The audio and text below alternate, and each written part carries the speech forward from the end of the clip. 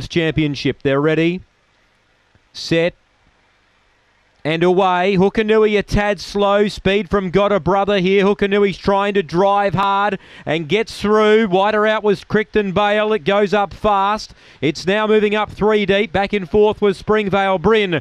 Uh, behind those in came Miss Gambino and Just As Tough is last. Now coming away from the inside, Hookanui there and went up and grabbed the leader as they make their way to the back now. Second Got a Brother. Passed by Crichton Bale. Back in fourth, Springvale Bryn. She's got a lift here. She spots Hookanui three. Well back in the field, just as tough. And last is Miss Gambino. Hookanui by two. Crichton Bale is coming. A length and a half to Springvale Bryn. Hookanui a length on Crichton Bale. Springvale Bryn is absolutely flying home. Oh, I think she might have got there. Photo finish. Springvale Bryn and Hookanui. Crichton Bale behind them. Then just as tough. And Miss Gambino just as tough at the rear. Yep, she's got up. Springvale Bryn. Big win. Huge win. She's got up. Springvale Bryn has run them down. Hookanui second, needed the post but couldn't get it. And uh, Crichton Bale runs third. Number five gets fourth.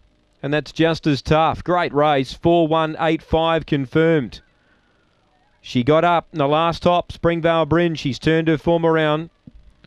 And she's back in the winners list. 43.65. A lot slower than what Bogey Beckham ran, though.